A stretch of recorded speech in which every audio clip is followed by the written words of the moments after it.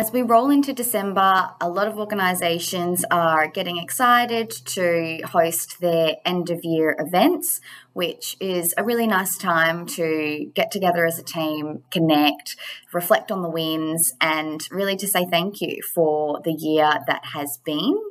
There are three key areas that businesses and business leaders need to remember at this time.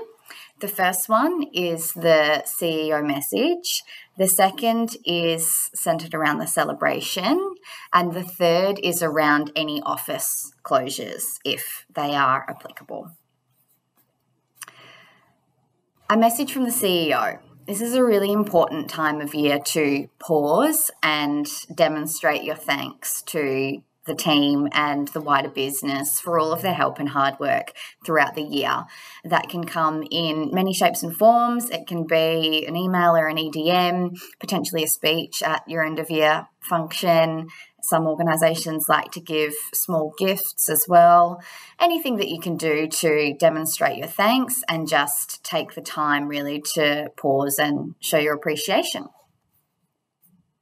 Number two, the celebration. This is an exciting time for most employees, but can be a concerning time for frontline leaders and HR professionals. The most important thing to remember when it comes to your celebration is the safety of your people. So, um, have you set the expectations for conduct at the end of your event, particularly if alcohol is going to be served? Um, have you recently refreshed your employees on your company policies, your code of conduct, and that kind of thing? Um, have you had to think about how your employees are going to get home if alcohol is being served? These are the things that it's good to think about, plan for, and organise up front so that if anything were to happen during the event, um, your employees know how they're expected to behave, and your frontline managers are empowered with the skills to respond effectively.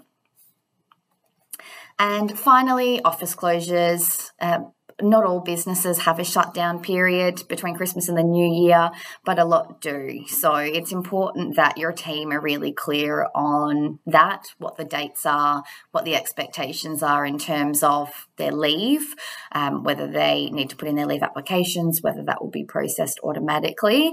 And of course, your customers and clients need to be notified as well. And once you've got these three key areas covered, you can enjoy the rest of the year and look forward to what 2023 has to bring. Uh, the overarching theme is communication and policies. So if you need a hand drafting policies, um, training your employees on them, or even just refreshing the ones that you've already got in place, we can absolutely help you with that. We'd also love to help with a comms plan from the CEO around end of year functions and office closures as well. So we will look forward to hearing from you.